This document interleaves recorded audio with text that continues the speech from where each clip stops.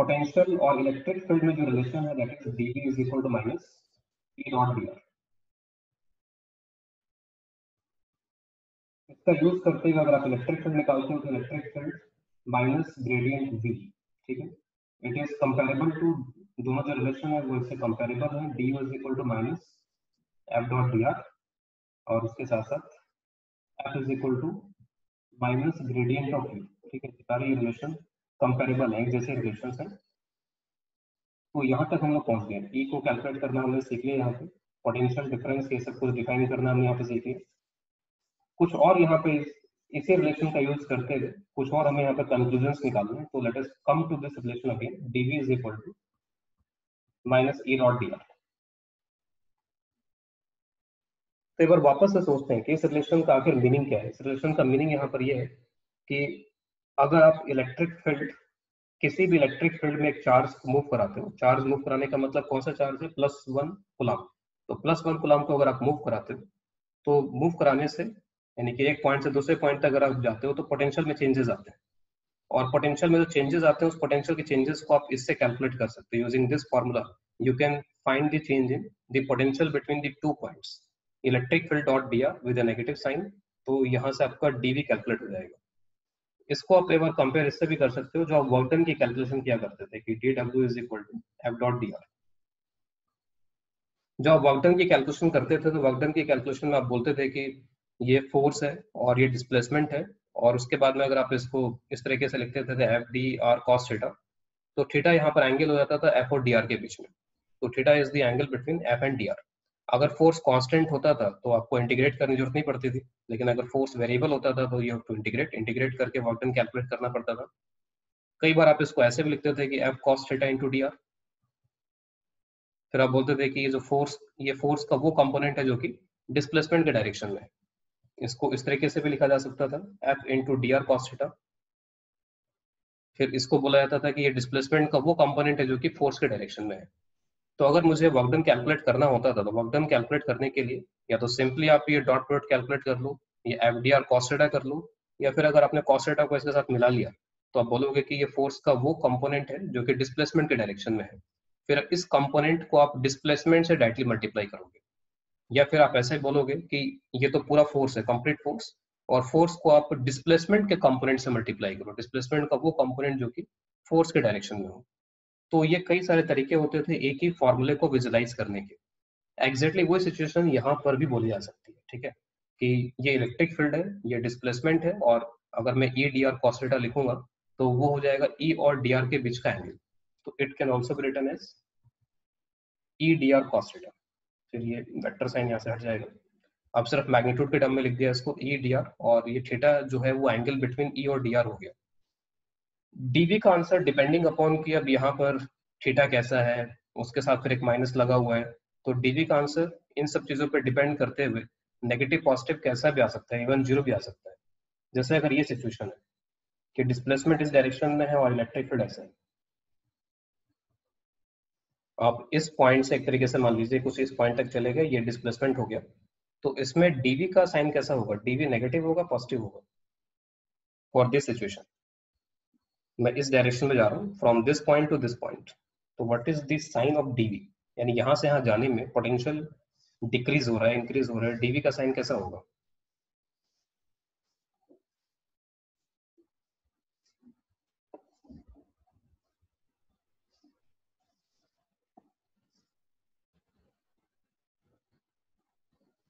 तो देख रहा है साफ़ साफ़ कि जो केस मैंने यहाँ पे लिया है, वो थीटा लेस देन 90 डिग्री का लिया है।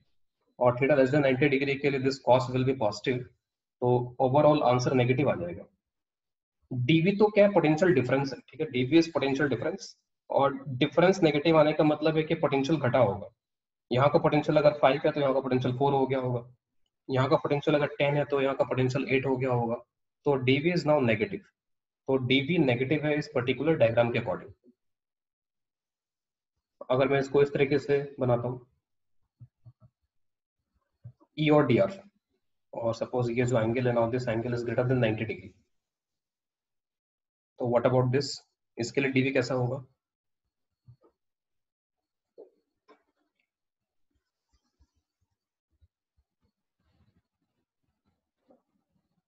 ठीक है ऑब्वियसली बात है डीवीएस पॉजिटिव ठीक है, सभी लोगों क्लियर हो रहा है, यहाँ पे क्या चल रही है जस्ट ये जो रिलेशन है, इस रिलेशन को ही थोड़ा और डिटेल में जा रहे हैं और कुछ ना कुछ आगे इससे लेकर के आएँगे अभी।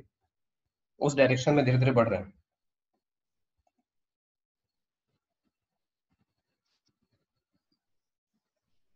एक स्पेसिफिक केस यहाँ पे ये हो सकता है कि लेट से ई और डी आर कुछ ऐसा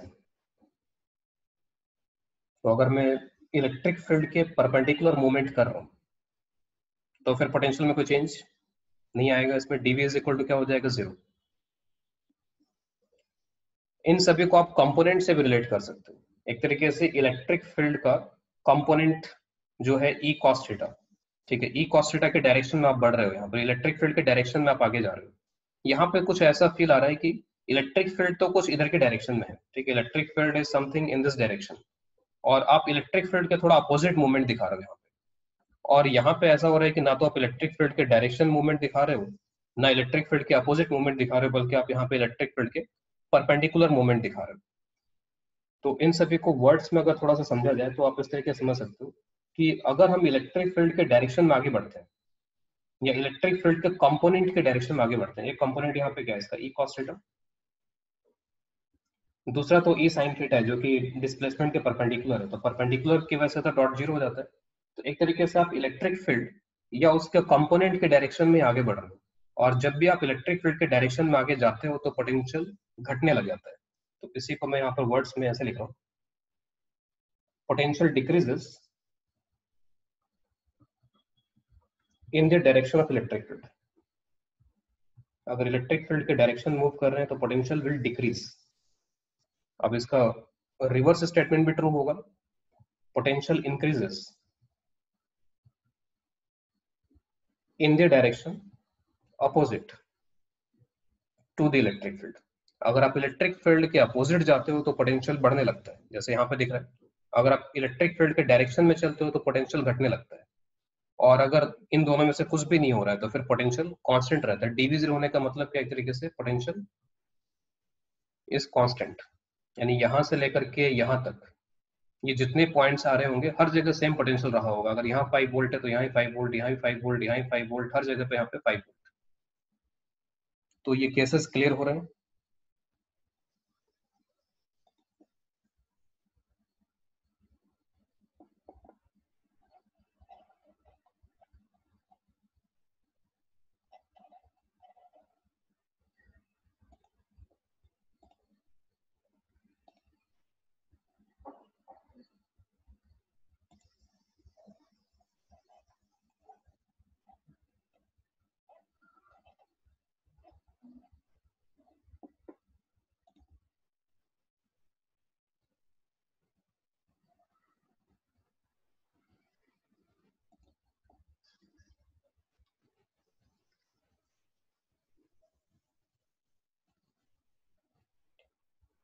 और साथ के साथ आप इसका जो फ़िज़िकल सिग्निफिकेंस मैंने बता रखा है कि पोटेंशियल या पोटेंशियल डिफरेंस का मतलब क्या होता है? पोटेंशियल डिफरेंस हमेशा एक वर्क डन होता है, ठीक है?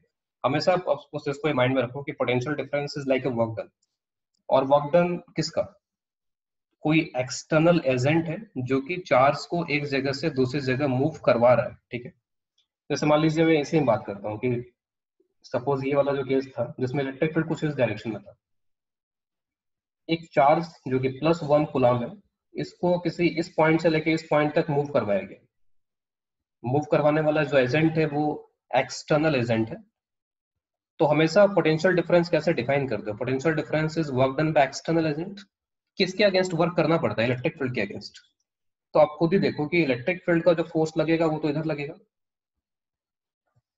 Force by electric field will be in this direction और फोर्स बाय एक्सटर्नल जो है, वो कुछ ऐसे होना चाहिए जो कि इसको अपोज करता हुआ रहे और इस पर नेट फोर्स ज़ीरो कर दे। तो एक्सटर्नल जो है वो कुछ ऐसे फोर्स लगाता है कि नेट फोर्स इस पर ज़ीरो हो जाए। अब आप खुद ही देखो कि ये जाए यहाँ फोर्स तो लग रहा है ऐसे एक्सटर्नल का जो फोर्स लग रहा है ऐसे डिस्प्लेसमेंट इस डायरेक्शन में हो रहा है। तो एक्सटर्नल का जो वर्कडन है वो कैसा हो जाएगा? ऑब्वियस है कि एक्सटर्नल का जो वर्कडन है वो नेगेटिव हो जाएगा। अगर एक्सटर्नल का वर्कडन नेगेटिव होगा तो पोटेंशियल डिफरेंस भी फिर यहाँ पे क्या हो जाएगा? नेगेटिव हो जाएगा। तो potential difference is nothing but it is the work done by the external agent और किसके अगेंस्ट वर्क कर रहा है? ये इलेक्ट्रिक फ़ील्ड के अगेंस्ट अगर आप लास्ट वाले केस को देखते हो तो लास्ट वाले केस में यहाँ पे क्या हो रहा है कि ये इलेक्ट्रिक फ़ील्ड है।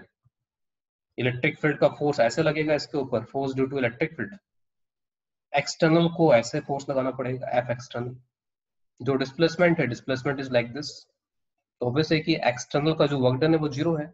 एक्सटर्नल को इस इलेक्ट्रिक फ़ील्ड के अगेंस्ट कोई वर्क करना ही नहीं पड़ रहा है इस डिस्प्लेसमेंट में तो work done will be zero तो ये सारी चीज़ें घूम फिर के वहीं से है। बस केवल हम इनको समझने के अलग अलग तरीके निकाल रहे हैं। कभी हम इनको फॉर्मूले से समझते हैं। हर तरीके की अंडरस्टैंडिंग ज़रूरी है। फॉर्मूले वाली अंडरस्टैंडिंग भी ज़रूरी है कि फॉर्मूला क्या कहना चाहता है। फ़िज़िकल अंडरस्टैंडिंग भी ज़रूरी है कि फिजिकली मतलब क्या निकल रहा है। नेगेटिव आ गया पॉजिटिव आ गया। वो सारी अंडरस्टैंडिंग से आप क्वेश्चन को टैकल कर पाओगे। कोई क्वेश्चन में डिफरेंट डिफरेंट वेराइटी क्रिएट की जाती है। कोई क्वेश्चन होता है जिसमें सिर्फ़ फॉर्मूले का एप्लीकेशन है। कोई फॉर्मूला ऐसा है जिसमें आपको सोचना पड़ेगा कि हाँ ये क्या कहना चाहता है। तो आपको हर तरीके की अंडरस्टैंडिंग इसमें ज़रूरी होगी। और खास करके जो पोटेंशियल के मैटर्स हैं पोटेंशियल के मैटर्स में आपको बहुत केयरफुल रहना होगा। बहुत सारे क्वेश्चन रूटीन टाइप के क्वेश्चन होते हैं जो कि फॉर्मूले से फटाफट सॉल्व हो जाते हैं, लेकिन अनकन्वेंशनल क्वेश्चंस भी हो सकते हैं जहाँ पे सोचना पड़ेगा। कहीं कोई कंफ्यूजन में किसी को एनी कंफ्यूजन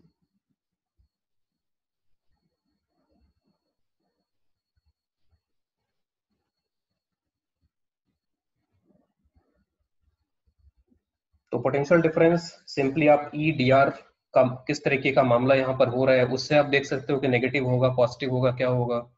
अगर आप वर्कडन को विजुलाइज करते हो तो वहाँ से भी देख सकते हो। फ़िज़िकल सिग्निफिकेंस को एक बार फिर से बताना, ठीक है?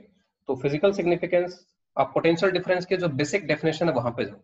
जो पोटेंशियल डिफरेंस की डेफिनेशन है बिटवीन टू पॉइंट्स वो क्या कहती है? जैसे मैंने यहाँ पे लिखा भी पोटेंशियल डिफरेंस की जो डेफिनेशन है बिटवीन टू पॉइंट्स जैसे मान लीजिए कोई भी दो पॉइंट यहाँ पर ए एंड बी अब मैं पोटेंशियल डिफरेंस नाम की एक चीज़ डिफाइन करता हूँ मैं वी बी माइनस वी अगर मैं ए से बी जा रहा हूँ तो V B minus V this is final point and this is initial point तो पोटेंशियल डिफरेंस इन दोनों पॉइंट्स के बीच का किस तरीके से डिफाइन किया गया? वर्क डन बाय एक्सटर्नल कहाँ से कहाँ जा रहा है? ए से बी किस पे वर्क कर रहा है यहाँ पर ये? प्लस वन कोलम चार्ज किसके अगेंस्ट वर्क कर रहा है यहाँ पर ये? इलेक्ट्रिक फ़ील्ड के अगेंस्ट। अगेंस्ट वर्क करने का मतलब है कि ये ऐसे फोर्स लगा रहा है, ये अपने फोर्स को इस तरीके से बदलता जा रहा है चेंज करता जा रहा है, जो भी कुछ कर रहा है ये। बस ये क्या इंश्योर कर रहा है कि इस पे जो नेट फोर्स है वो ज़ीरो है। जितना इलेक्ट्रिक फ़ील्ड फोर्स लगा रहा होगा, उतना यहाँ पर ये एक्सटर्नल एजेंट फोर्स लगा रहा है, जिससे कि नेट फोर्स हमेशा ज़ीरो बना रहे यहाँ पर और ये स्लोली मूव करे। तो this is the basic definition of this potential difference तो पोटेंशियल डिफरेंस को हमेशा आप किससे लिंक कर सकते हो? Work done by external agent अगर work done by external agent positive है तो ये पॉजिटिव होगा, अगर ये नेगेटिव है तो ये भी नेगेटिव होगा। ठीक है, समझ में आ रही बात यहाँ पर ये? तो जहाँ पर भी आप देख रहे हो कि यहाँ से यहाँ गए पोटेंशियल डिफरेंस नेगेटिव यानी कि पोटेंशियल घट गया। तो पोटेंशियल डिफरेंस नेगेटिव होने का मतलब यहाँ पे कि एक्सटर्नल ने नेगेटिव वर्क किया होगा।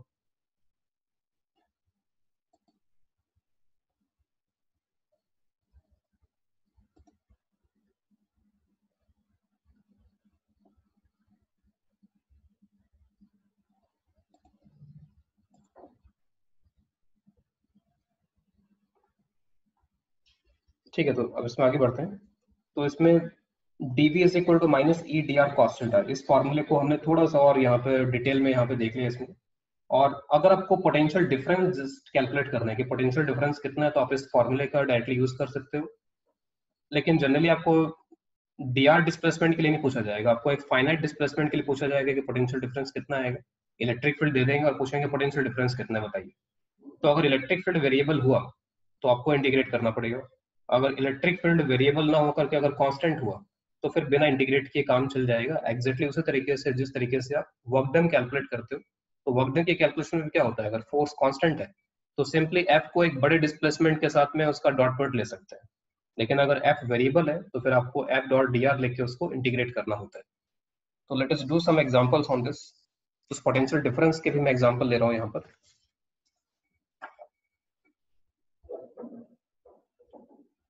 तो समराइज कर लेते हैं but dv is equal to minus A dot D R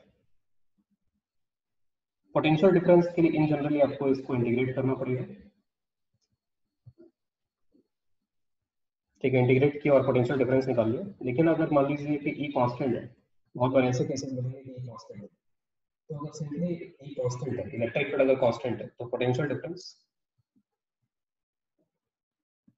simply E dot delta R से निकाल सकते हो। Delta R is the displacement displacement को मैं यहाँ पे डेल्टा आर से रिप्रेजेंट कर देता हूँ। तो दो पॉइंट्स के बीच में अगर आपको पोटेंशियल डिफरेंस निकालना है और इलेक्ट्रिक फ़ील्ड अगर कांस्टेंट है तो सिंपली आप इसका यूज़ कर सकते हैं। कुछ क्वेश्चंस करते हैं तो उससे आपको आइडिया एक बार लग जाएगा इसका। सपोज़ एक छोटा सा एग्जांपल लेते हैं। सपोज़ ये इलेक्ट्रिक फ़ील्ड है। इलेक्ट्रिक फ़ील्ड की वैल्यू मैं ज्यूम कर लेता हूँ let's say this is 10 newton per coulomb suppose यहाँ पे ये दो पॉइंट्स हैं।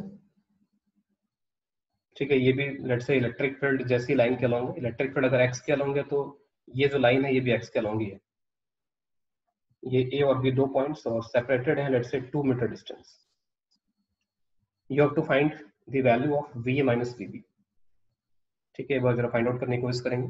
और प्रॉपर साइन के साथ, अगर पॉजिटिव आंसर आता है तो पॉजिटिव नेगेटिव आता है तो नेगेटिव तो पॉजिटिव नेगेटिव को समझते हुए V A minus V B निकालने की कोशिश करेंगे। This is a constant electric field हर जगह पे इलेक्ट्रिक फ़ील्ड की यही वैल्यू है, यही डायरेक्शन में।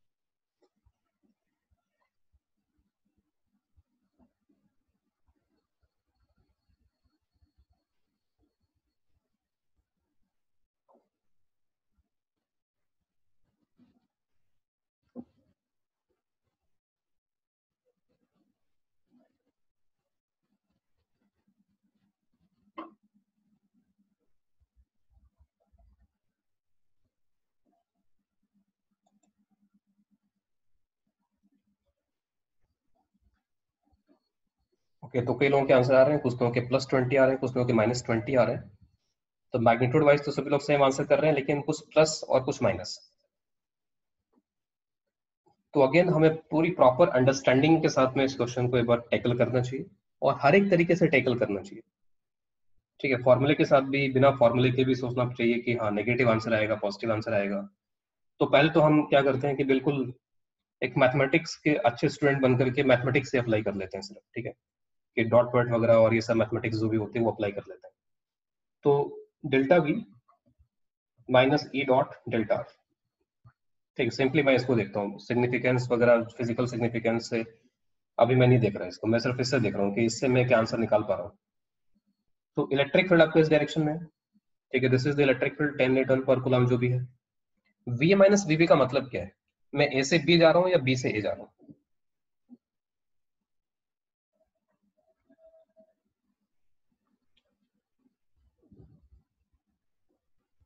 तो v minus V B this is final and this is initial ठीक है? हमेशा फाइनल माइनस इनिशियल इस फॉर्मेट में आप इसको समझने की कोशिश करो तो this is final minus initial तो फाइनल पॉइंट ए और इनिशियल पॉइंट बी है तो you are going like this आपका डिस्प्लेसमेंट इस तरीके का है। ये हो गया टू मीटर का डिस्प्लेसमेंट ऑब्वियसली कि दो वेक्टर एंटी पैरेलल हैं एंगल 180 डिग्री है, जो भी आप समझो इसको। तो इनका जो डॉट प्रोडक्ट है, वो डॉट प्रोडक्ट माइनस ट्वेंटी आ जाएगा और एक माइनस पहले से लगा हुआ है यहाँ पे। तो minus of minus twenty answer is plus twenty तो कई सारे लोगों का प्लस आया था, लेकिन कुछ लोगों ने माइनस भी दिया आंसर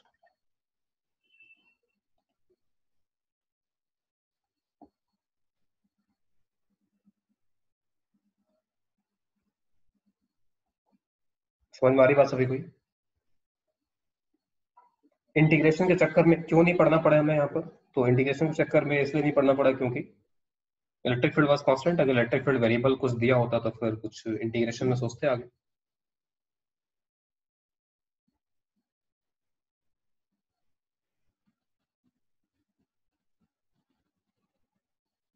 ठीक है, एक और क्वेश्चन लेते हैं आगे।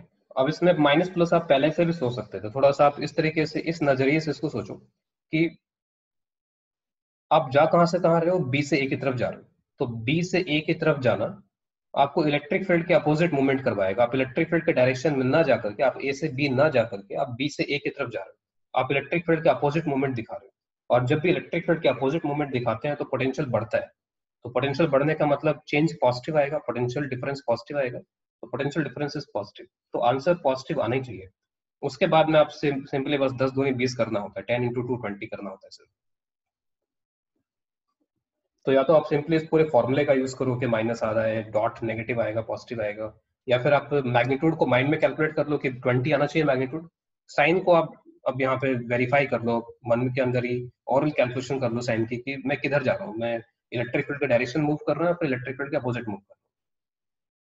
ठीक है तो इसके आंसर आ जाने चाहिए। इसके बाद में अब नेक्स्ट ऐसे एक और सवाल ले रहे हैं। सपोज़ आपके हमारी थ्री पॉइंट्स हैं वी हैव थ्री पॉइंट्स तो थ्री पॉइंट है, अगर आप इनको ज्वाइन कर लो जस्ट ज्वाइन करने से एक इक्वलेटर ट्राइंगल बन जाता है। ठीक है पॉइंट तीन है, और इनको ज्वाइन करते हैं तो एक इक्वलेटर ट्राइंगल फॉर्म हो जाता है। Let's say this is two metre side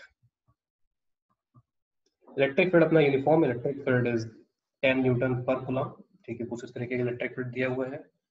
You have to find number one VC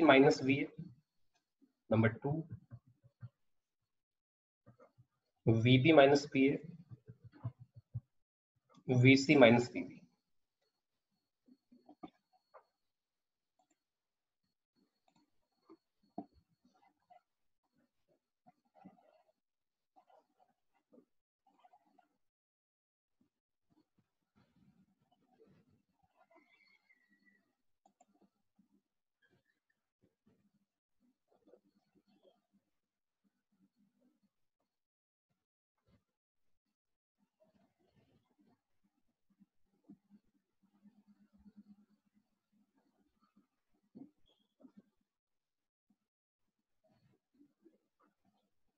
तो पूरी तरीके से वेरीफाई करते हुए प्लस माइनस जो भी है, उसके अकॉर्डिंग आंसर करना है।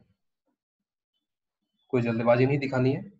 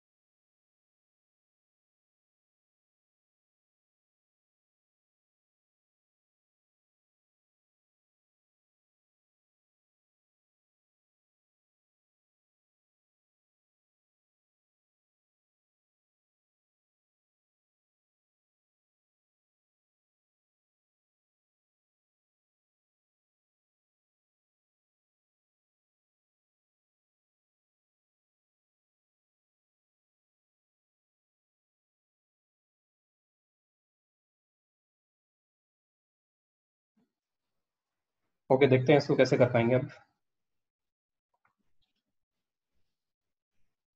बी सी माइनस बी ठीक है? तो अगेन आपको एक क्लियर होना चाहिए कि आप किस पॉइंट से किस पॉइंट तक जा रहे हो। तो C is your final point A is your initial point यानी आप ए से सी की तरफ़ जा रहे हो एक तरीके से, ठीक है? You are going like this इसको अगर मैं ड्रॉ करूँ तो इट इज़ लाइक दिस जो आपका डिस्प्लेसमेंट है, वो डिस्प्लेसमेंट इतना है। मैग्नीट्यूड वाइज कितना है? टू मीटर, ठीक है? टू मीटर का डिस्प्लेसमेंट है ए से सी की तरफ़। इलेक्ट्रिक फ़ील्ड कुछ इस तरीके का है। Electric field is like this ten electric field ten है और यहाँ पर ये टू है। लेकिन एंगल भी आपके बार यहाँ पे। एंगल कितना हो जाएगा ये? तो ये 60 डिग्री है तो ऑब्वियस है कि ये भी 60 डिग्री होगा। तो जब मैं वी सी माइनस वी का आंसर निकालूँगा वी सी माइनस वी तो माइनस पहले से आता है एक तो। अभी आप यहाँ पर इसका डॉट कर लो। तो 10 into two into cos sixty cos sixty will be half minus ten calculate करने के और भी तरीके हैं। जैसे मान लीजिए कि एक तरीका यहाँ पर ये कि इलेक्ट्रिक फ़ील्ड का क्या कंपोनेंट है इसके डायरेक्शन में। तो मैं इसी क्वेश्चन में ये सारे तरीके यूज़ कर लेता हूँ। जैसे इलेक्ट्रिक फ़ील्ड का अगर आप कंपोनेंट करो इलेक्ट्रिक फ़ील्ड कितना है? टेन है। इलेक्ट्रिक फ़ील्ड का कंपोनेंट अगर आप इस डायरेक्शन में करते हो इलेक्ट्रिक फ़ील्ड का कंपोनेंट तो ये कितना हो जाएगा? Ten cos sixty five ultimately five और टू को मल्टीप्लाई करने से आंसर आएगा। तो फाइव और टू को मैं अगर मल्टीप्लाई करता हूँ तो टेन टू आता है। अब आप ये सोचो कि आप किधर जा रहे हो? आप इलेक्ट्रिक फ़ील्ड के डायरेक्शन में जा रहे हो या उसके अपोजिट जा रहे हो? तो आपका जो डिस्प्लेसमेंट है, वो इलेक्ट्रिक फ़ील्ड के डायरेक्शन में ही है। ये इलेक्ट्रिक फ़ील्ड है, या इलेक्ट्रिक फ़ील्ड का एक कंपोनेंट है, और उसी डायरेक्शन में आप बढ़ रहे हो आगे। तो इलेक्ट्रिक फ़ील्ड के डायरेक्शन में जब भी आप जाओगे, जैसे आप यहाँ से थोड़ा विजुलाइज तो कर ही सकते हो कि इलेक्ट्रिक फ़ील्ड कुछ उधर की तरफ़ है टुवर्ड्स राइट और जो आप ए से सी जाते हो तो अल्टीमेटली आप राइट में ही आगे बढ़ते हो। आप लेफ़्ट तो जाते नहीं हो। तो ए से सी जाना means you are just moving towards right ठीक है एक्जैक्टली आप राइट में नहीं जा रहे हो। इलेक्ट्रिक फ़ील्ड के परपेंडिकुलर भी जा रहे हो, लेकिन परपेंडिकुलर जाना लेफ़्ट राइट नहीं होता है। लेफ़्ट राइट यहाँ पर क्या होगा? जब आप इलेक्ट्रिक फ़ील्ड के डायरेक्शन में चलोगे तो इलेक्ट्रिक फ़ील्ड का मैंने कंपोनेंट किया और आप सीधा उसी डायरेक्शन में आगे बढ़ रहे हो? या फिर दूसरा तरीका यहाँ पे, ये इलेक्ट्रिक फ़ील्ड है और ये डिस्प्लेसमेंट है। आप इस डिस्प्लेसमेंट का कंपोनेंट कर सकते हो इलेक्ट्रिक फ़ील्ड के डायरेक्शन में तो डिस्प्लेसमेंट का कंपोनेंट करोगे तो ये हो जाएगा टू कॉस सिक्सटी तो इस टू कॉस सिक्सटी को आप इसे मल्टीप्लाई करो फिर डायरेक्टली अगेन आप इलेक्ट्रिक फ़ील्ड के डायरेक्शन में मूवमेंट दिखा रहे हो तो इलेक्ट्रिक फ़ील्ड के डायरेक्शन मूवमेंट दिखाने का मतलब है आंसर नेगेटिव आएगा। और टू कॉस सिक्सटी कितना हो जाएगा वन तो टेन को वन से मल्टीप्लाई कर लो फाइव को टू से मल्टीप्लाई कर लो, या फिर टेन टू कॉस सिक्सटी कर लो आंसर टेन आना है, बस। माइनस का हमें पता होना चाहिए कि माइनस में आना है कि प्लस में आना है। कोई कंफ्यूजन इसमें किसी को। तो साइन में अभी गड़बड़ी कर रहे हैं कई सारे लोग।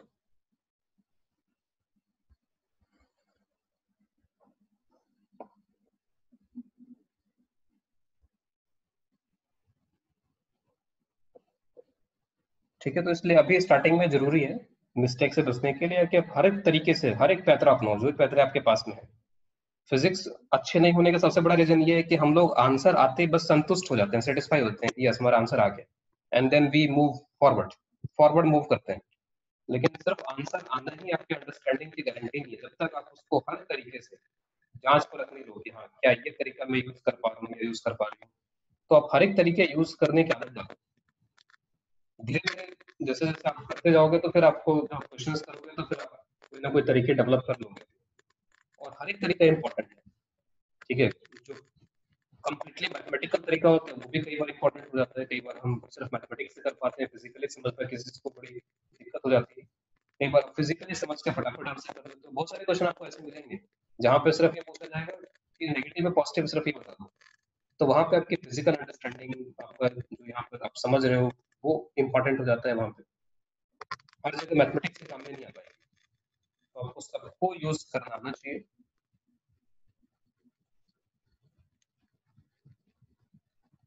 ओके वॉइस प्रॉब्लम हो रही है।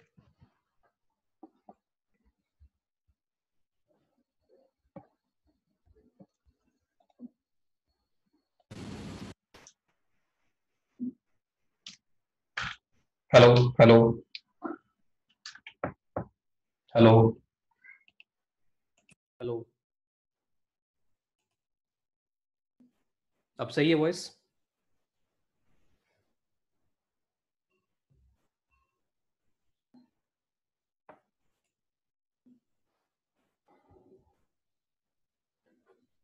ओके तो बाकी क्वेश्चंस के भी आंसर देख लेते हैं। तो वीबी माइनस वी ए तो वीबी माइनस वी ए बोलने का मतलब है कि आप ए से बी जा रहे हो। You are going from A to B तो ए से बी जा रहे हैं। ए से बी जाने का मतलब है कि जो डिस्प्लेसमेंट है वो कुछ इस तरीके का होगा। ए टू बी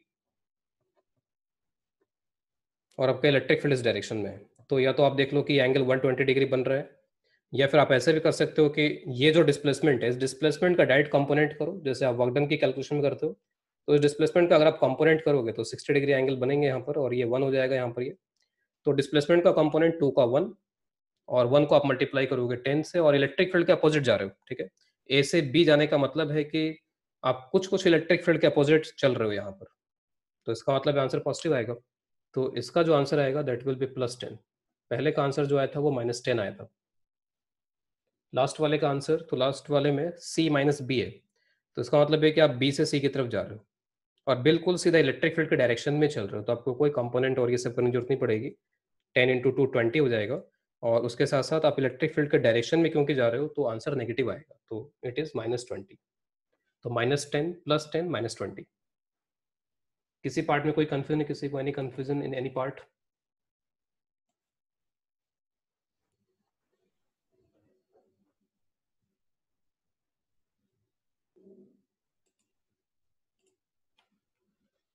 ठीक है let us do some more problems और जो पोटेंशियल के वीडियोस हैं, उनको बार बार ज़रूर देखिए। पोटेंशियल के जो क्वेश्चन हैं, उनको बढ़िया से करने की कोशिश करें, क्योंकि पोटेंशियल में ही ज़्यादातर लोगों को दिक्कत आती है। तो नेक्स्ट क्वेश्चन यहाँ पे देखते हैं। सपोज़ इलेक्ट्रिक फ़ील्ड यहाँ पे कुछ इस तरीके से दिया हुआ है। Let's say this is given as three I cap minus four J cap find potential difference between two points one comma two and three comma five इसको मैं ए बोल देता हूँ, इसको बी और ऐसे लिखने में ये अब हो सकता है कि ए माइनस बी करना है बी माइनस ए करना है। Let us do V B minus V A V minus V A का आंसर निकालिए। इलेक्ट्रिक फ़ील्ड जैसा दिख रहा है आपको कि electric field is a constant कोई वेरिएबल नहीं है it is a constant electric field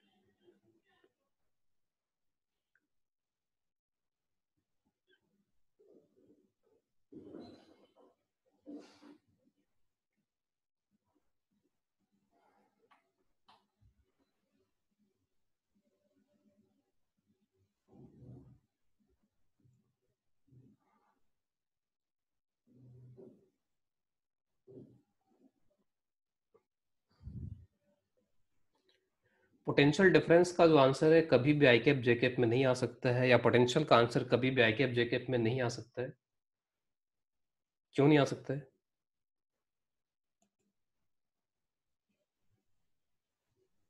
potential difference का answer I cap J cap में नहीं आ सकता। स्केलर क्वांटिटी है। It will have some value only कुछ वैल्यू आएगी सिर्फ़। वो नेगेटिव आएगी पॉजिटिव आएगी, लेकिन आएगी वैल्यू जैसे वर्क डन है। वर्क डन एक वैल्यू होती है।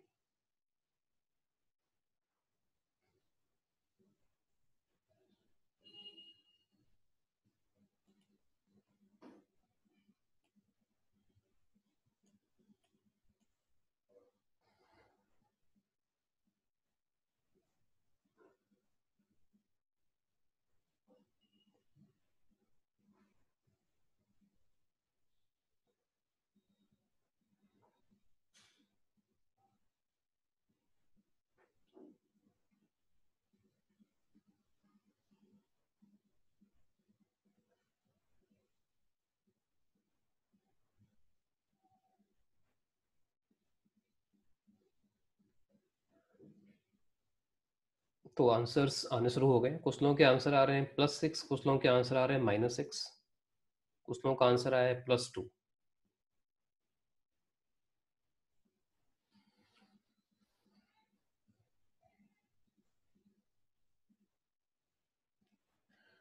तो एक तरीका होगा इस क्वेश्चन करने का कि मैं बस मैथमेटिक्स का रास्ता पकड़ लूँ और कैसे जा रहा है, क्या कर रहा है, वो सोचे बिना सिर्फ़ मैथमेटिक्स अप्लाई कर दी जाए तो वो भी एक रास्ता है।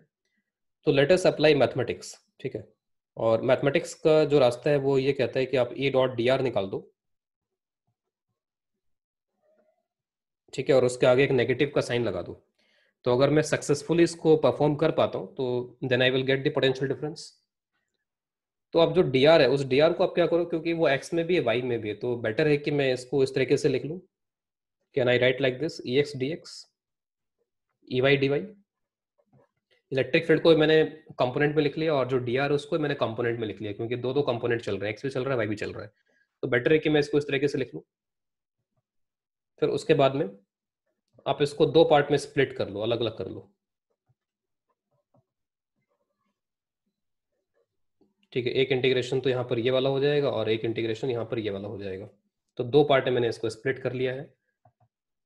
इंटीग्रेशन करने की ज़रूरत पड़ेगी नहीं वैसे। ई एक्स यहाँ पे कितना है? थ्री और डी एक्स एक्स एक तरीके से बाहर ही हो गया और डी एक्स यहाँ पे वन से थ्री तो डी एक्स के वैल्यू एक तरीके से कि एक्स में डिस्प्लेसमेंट कितना हो जाएगा? सिंपली टू हो जाएगा, दिख रहा है यहाँ पे। फिर उसके बाद में माइनस तो चल ही रहा है यहाँ पे इधर। ई वाई कितना दिया गया? माइनस फोर दिया गया तो इट इज़ माइनस फोर आप माइनस बाहर निकाल लो और डी वाई कहाँ से, कहाँ तक? टू से फाइव v माइनस पी है तो ये फाइनल है और ये इनिशियल इसका ध्यान रखेंगे। अगर उल्टा कर देंगे तो फिर वो नेगेटिव का चक्कर पड़ेगा फिर।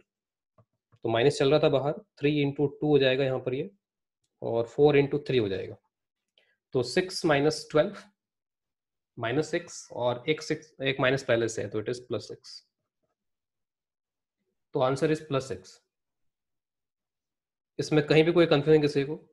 और जो मैंने तरीका यहाँ पर लिखा है फाइनली आप उसको अगर इलेक्ट्रिक फ़ील्ड वेरिएबल भी होता, तब भी आप कर सकते थे, ठीक है? तो ये जो इंटीग्रेशन इंटीग्रेशन से मैंने डायरेक्टली इसको लिख दिया यहाँ पे। आप डायरेक्टली डिस्प्लेसमेंट वगैरह भी करके देख सकते थे इसको। तो आंसर इज़ प्लस सिक्स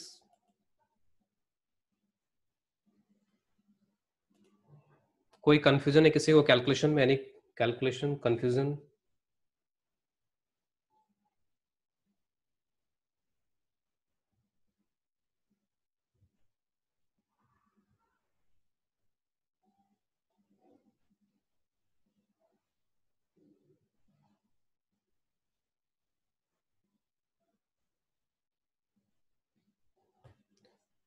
अब देखिए, इसे क्वेश्चन को समझने का थोड़ा और बेटर वे भी है। ये तो एक प्लेन मैथमेटिक्स है कि बस हमें फॉर्मूला पता था, उसमें रखा और आंसर ले आए।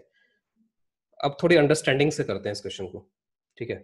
तो let us do by understanding suppose मैंने एक डायग्राम बना लिया, कुछ सब कुछ मेरे को पता है कि एक्स वाई प्लेन में ही है यहाँ पे तो विजुलाइज करना भी आसान है इस सिचुएशन को। इलेक्ट्रिक फ़ील्ड जो है, उसको मैं कंपोनेंट फॉर्म में यहाँ पे दिखा रहा हूँ। एक तो है इसका एक्स कंपोनेंट जो कि है थ्री और एक है इसका वाई कंपोनेंट जो कि है फोर और इलेक्ट्रिक फ़ील्ड क्योंकि यूनिफॉर्म है? यूनिफॉर्म होने का मतलब है कि यहाँ पर भी वही इलेक्ट्रिक फ़ील्ड है, यहाँ पर भी वही इलेक्ट्रिक फ़ील्ड है, यहाँ भी वही इलेक्ट्रिक फ़ील्ड है। तो किसी भी वेक्टर क्वांटिटी को जब हम बोलते हैं कि वो यूनिफॉर्म है तो इसका मतलब है कि हर जगह उसका मैग्नीट्यूड और डायरेक्शन जो है वो बराबर चल रहा है, ठीक है? उसमें कहीं कोई चेंजेस नहीं आ रहे हैं। अगर किसी में भी चेंज आता है या तो मैग्नीट्यूड में चेंज आ जाए या डायरेक्शन में चेंज आ जाए तो इसका मतलब वो क्वांटिटी नॉन यूनिफॉर्म है। ऑडियो मिल रहा है सभी को? आवाज़ आ रही है क्लियर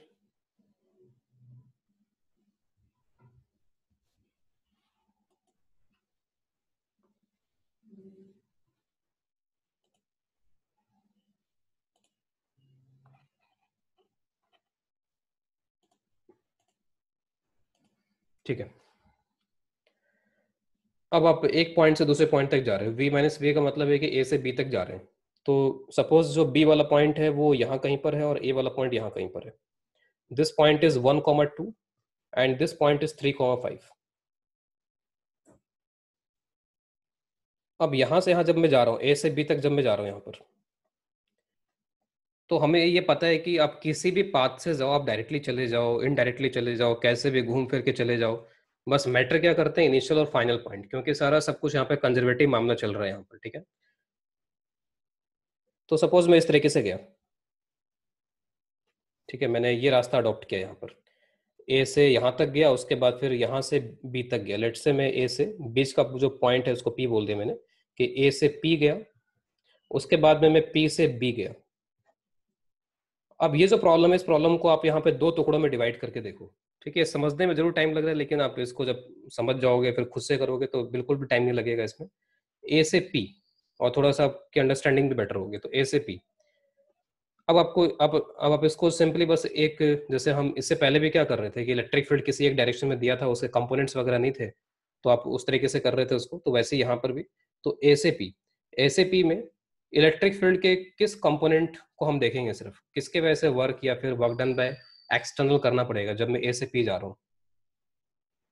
तो जब मैं ए से पी जा रहा हूँ तो सिर्फ़ कौन सा कंपोनेंट मेरे को देखना चाहिए इलेक्ट्रिक फ़ील्ड का?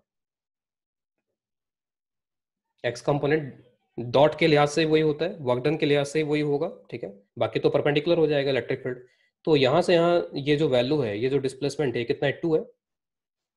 अब इलेक्ट्रिक फ़ील्ड के डायरेक्शन में ही आप चले गए तो एसीपी जो आप गए तो पोटेंशियल घट गया होगा इलेक्ट्रिक फ़ील्ड के डायरेक्शन में चले गए। तो आप यहाँ पे क्या करोगे? कितने का चेंज आ गया पोटेंशियल में? माइनस सिक्स का चेंज आ गया। Three multiplied by two minus six का चेंज आ गया। आप देख सकते हो कि जो पहला हमारा यहाँ पर है, वो माइनस सिक्स ही है यहाँ पर। उसके बाद में आप यहाँ पे पी से बी जा रहे हो। तो जो आप पी से बी जा रहे हो तो आप इलेक्ट्रिक फ़ील्ड के अपोजिट जा रहे हो। इलेक्ट्रिक फ़ील्ड नीचे है और आप जा रहे हो ऊपर तो पोटेंशियल बढ़ेगा। कितने अमाउंट से पोटेंशियल बढ़ जाएगा यहाँ पे? तो टू है इनिशियल वाई कोऑर्डिनेट और फाइव है यहाँ पर तो ये वैल्यू कितनी है? थ्री है। तो बढ़ेगा तो फोर इंटू थ्री ट्वेल्व तो प्लस ट्वेल्व माइनस सिक्स मिला के कितना हो जाएगा? प्लस सिक्स ठीक है, ये सारी कैलकुलेशन माइंड में भी की जा सकती है कि एक्स में इतना होगा वाई में उतना होगा। बस प्लस माइनस का थोड़ा आपको ध्यान रखना पड़ेगा।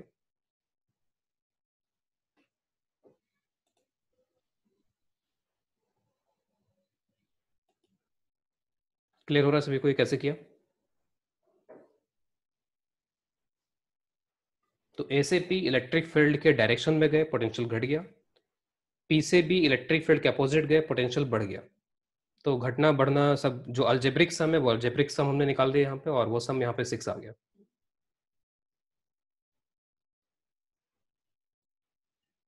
एनी कंफ्यूजन एनीवन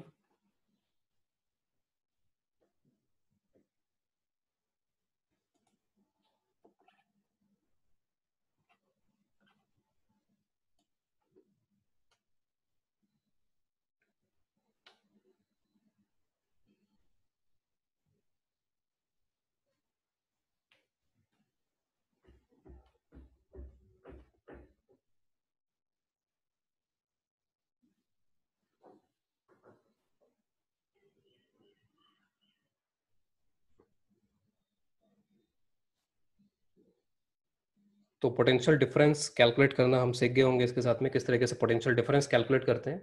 ऑलरेडी पहले भी हमने किया हुआ है इसको।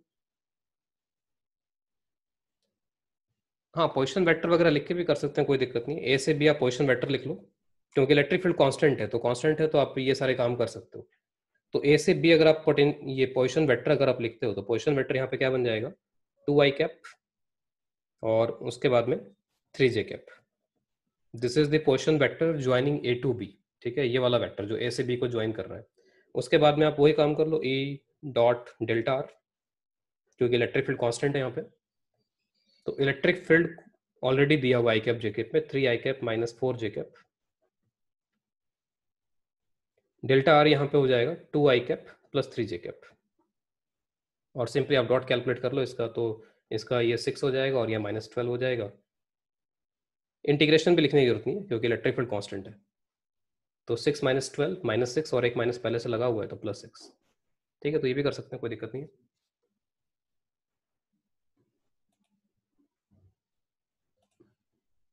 लेकिन ध्यान रखना है कि ये काम हम तभी कर सकते हैं when electric field is constant अगर इलेक्ट्रिक फ़ील्ड वेरिएबल निकला तो you have to do like this कुछ इस तरीके से आपको इंटीग्रेट करना होगा। प्लस माइनस की गड़बड़ी से बचने के लिए एक बार हमें माइंड में सोच लेना चाहिए थोड़ा सा कि हम इलेक्ट्रिक फ़ील्ड के अपोजिट हैं या इलेक्ट्रिक फ़ील्ड के डायरेक्शन में जा रहे हैं। तो उससे प्लस माइनस में अगर मान लीजिए कैलकुलेशन में कहीं पैरर भी हो जाती है और हमारे माइंड में क्लियर है कि हमारा आंसर पॉजिटिव आना चाहिए, हमारा आंसर नेगेटिव आना चाहिए तो वी कैन चेक कि हमने तो सोचा था कि पॉजिटिव आएगा लेकिन आंसर नेगेटिव आ गया।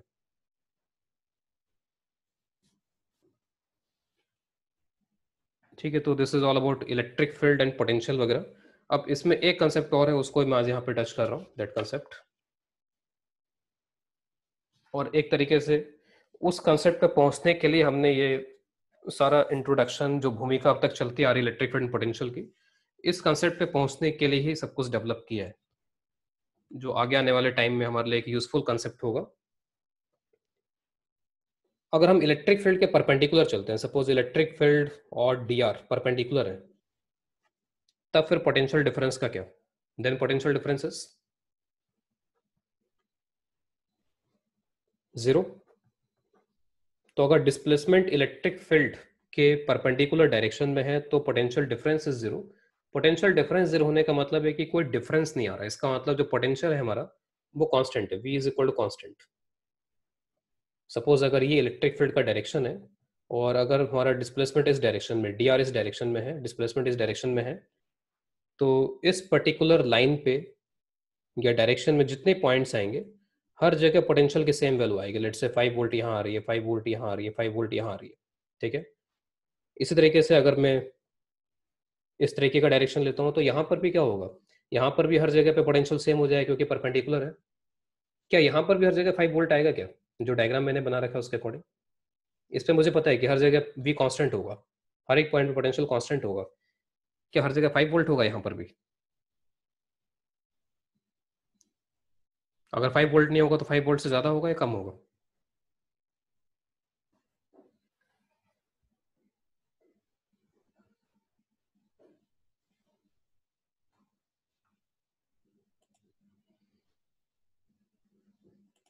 ठीक है तो I think you are getting my point तो यहाँ पर ये वाला जो डायरेक्शन मैंने लिया है, अब एक तरीके से ये जो पॉइंट है और ये जो पॉइंट है इन दोनों पॉइंट्स में अगर मैं इस पॉइंट से इस पॉइंट तक जाता हूँ तो इलेक्ट्रिक फ़ील्ड के डायरेक्शन में चल के जाना पड़ता है।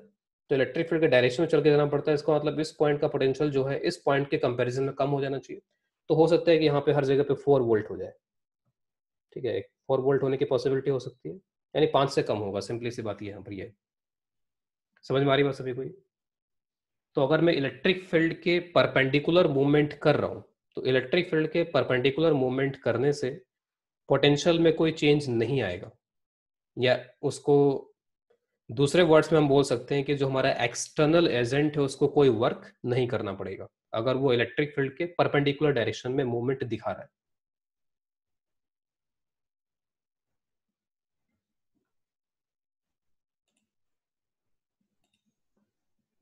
ठीक है तो आई थिंक यहाँ तक तो कोई कंफ्यूजन नहीं है।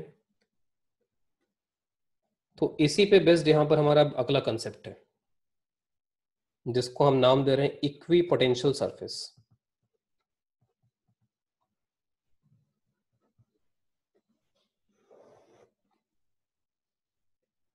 जिस तरीके से इलेक्ट्रिक फ़ील्ड लाइन का कंसेप्ट होता है, कुछ वैसा ही कंसेप्ट है यहाँ पर equi potential surface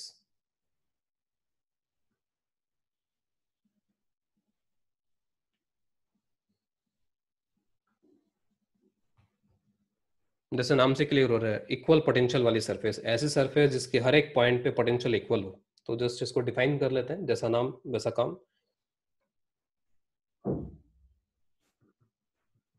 It is a surface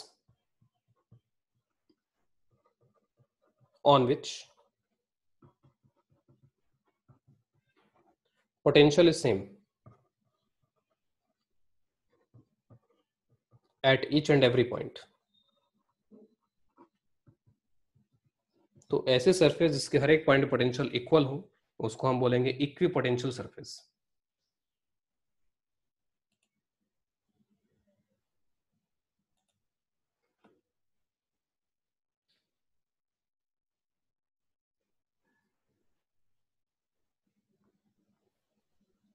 कुछ एक प्रॉपर्टीज़ में फटाफट इनकी लिखते जा रहा हूँ।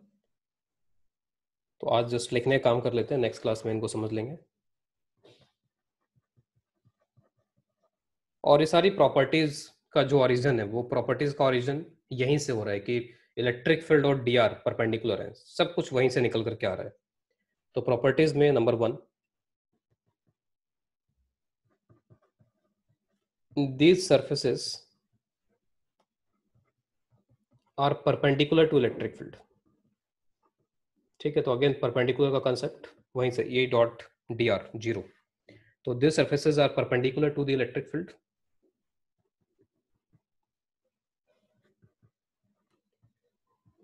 two equipotential surfaces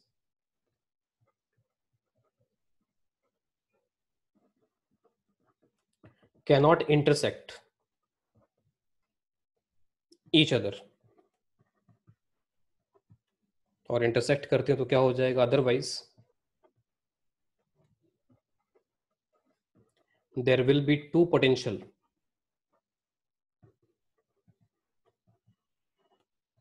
at a single point इसी तरीके की एक लाइन इलेक्ट्रिक फ़ील्ड लाइंस में भी लिखी थी हमने कि दो इलेक्ट्रिक फ़ील्ड लाइंस एक जगह पर इंटरसेक्ट नहीं कर सकती, अगर इंटरसेक्ट करेंगी तो वहाँ पे इलेक्ट्रिक फ़ील्ड के दो वैल्यूज़ हो जाएँगे, दो डायरेक्शंस हो जाएँगी। नंबर थ्री घुमा फिरा के सारी बातें वही आती जाएँगी वापस, ठीक है? बस केवल शब्द बदलते जाएँगे मतलब कहीं ना कहीं वही रहेगा। if any electric field exists on equipotential surface मैं EPS बोल रहा हूं यहाँ पे इन शॉर्ट इसको EPS equipotential surface if any electric field exists on EPS then it must be normal to the surface it must be normal to the surface It cannot have tangential component.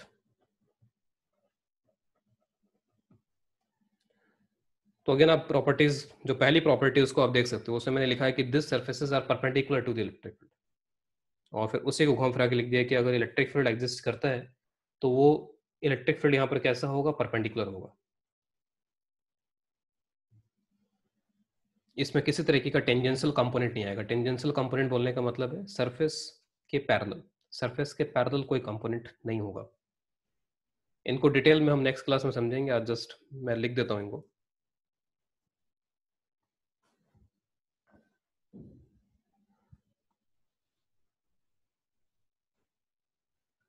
Number four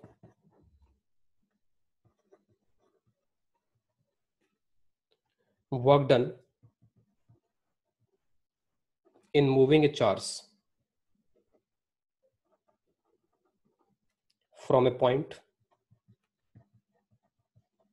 to other point on an EPS will be. तो potential में कोई change आया नहीं है तो potential difference will be zero तो work done वगैरह जो भी होगा वो ज़ीरो हो जाएगा। ठीक है तो ये कुछ प्रॉपर्टीज़ हैं। Related to equipotential surface